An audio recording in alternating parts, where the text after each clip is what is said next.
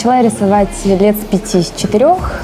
Сначала пейзажи писала, вот, а года два, наверное, мне понравился гиперреализм. Получится, не получится.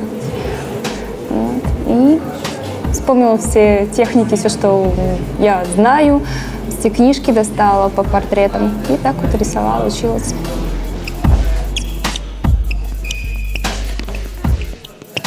Меня привела подруга три года назад на встречу с а, болельщиками.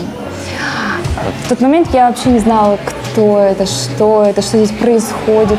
Вообще, вот. И тогда раздавали такие журнальчики по номерам игроков. Вот, и мне подруга такая говорит, смотри, смотри, вот это идет, говорит, там, Никита Курбанов.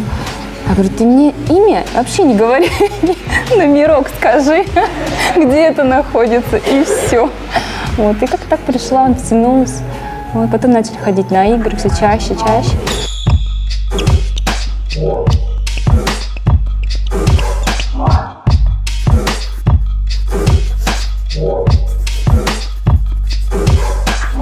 Ну, это был, конечно, волнительный такой момент, когда выходят игроки тет-а-тет, вот, и не знаешь, как они отреагируют на это, понравится, не понравится, конечно, волнуешься. Вот, а тогда волновалась, очень волновалась.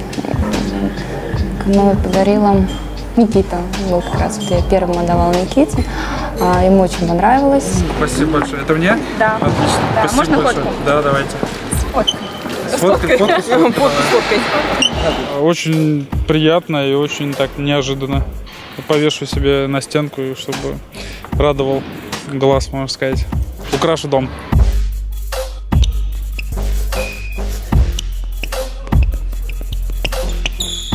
Добавляю, каждый раз что-то новое добавляю. Какие-то фишечки свои. Когда есть настроение, я могу рисовать хоть каждый день. Могу встать э, ночью, начать рисовать. Какие бы занятия у меня не было, чем бы я ни увлекалась, но э, рисование это никогда от меня не отходит. Я всегда к этому возвращаюсь. Через день, через месяц, через год я всегда к этому вернусь.